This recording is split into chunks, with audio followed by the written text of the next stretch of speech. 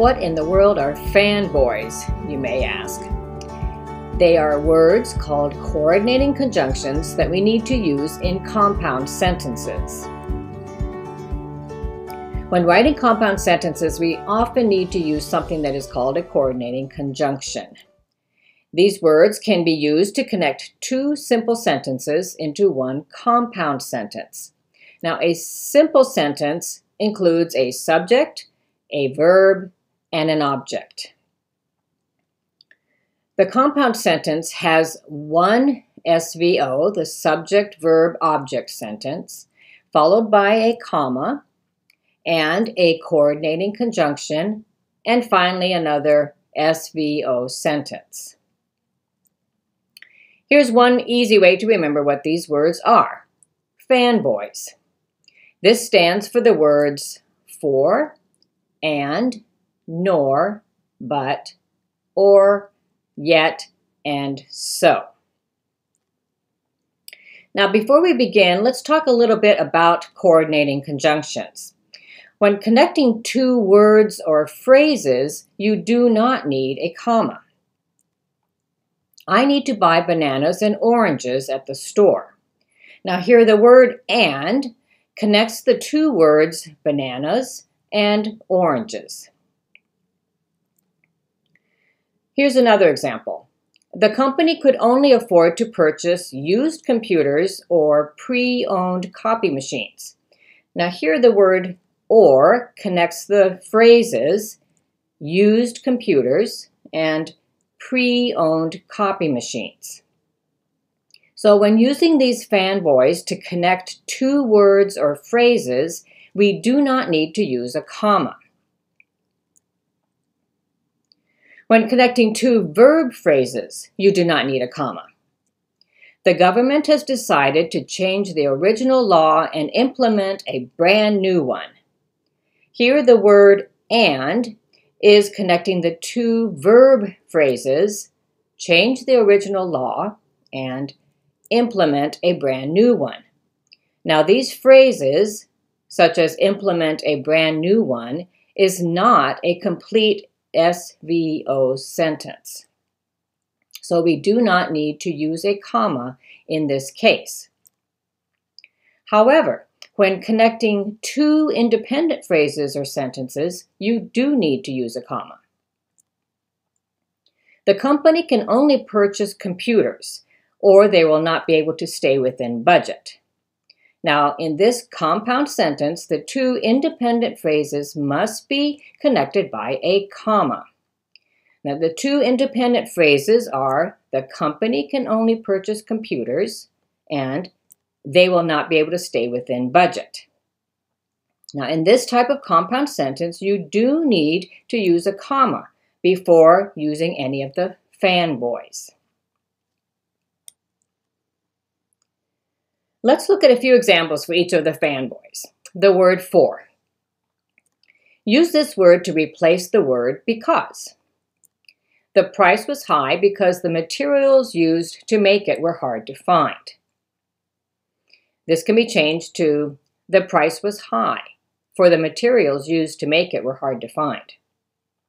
Now the two independent phrases are the price was high and the materials used to make it were hard to find. And you can see there is a comma before the word for. The word and. Use this word to connect to similar or connected ideas. Now here are two simple sentences. The price was high. The marketing team was having difficulty promoting it. Now we can connect them to write a compound sentence like this. The price was high and the marketing team was having difficulty promoting it. Now you can see the two simple sentences in the sentence connected with the word and and a comma. Use the word nor to connect two negative sentences or ideas. Here's an example.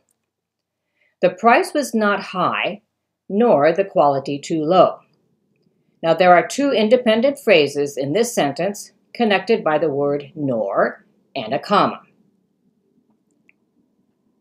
The word but is one that is often used in compound sentences. Now use this word to show a difference or a change. The price was high, the quality was exquisite. We can combine those into one sentence by writing this. The price was high, but the quality was exquisite. Or is another common word used in compound sentences.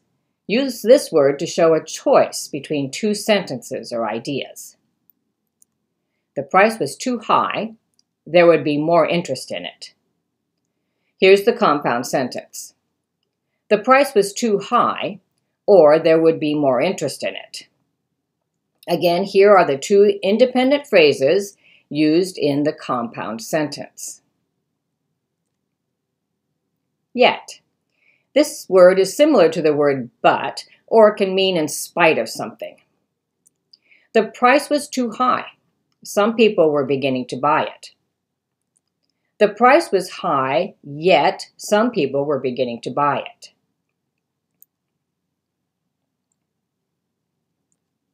And our last fanboys is the word so.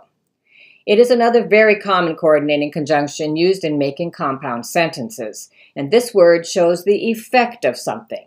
We can combine these two sentences in this way. The price was high, so some people could not afford to buy it. Again, you can see the two independent phrases connected by the word so and a comma. Here are a few more examples. The meaning was difficult to understand, for the explanation was not clear. The mountains were beautiful, and the weather was perfect. The choice seemed obvious, but it was still a difficult one to make. The expenses were higher than the income, or there would be more money left in the company. The product was amazing, yet many people were not willing to pay the high price. The meeting was thought provoking, so many people left the room discussing the new concepts. I hope you found this video helpful in learning how to use the fanboys that are used in compound sentences. Use these words to write more compound sentences, and it will improve your writing skills. Happy writing!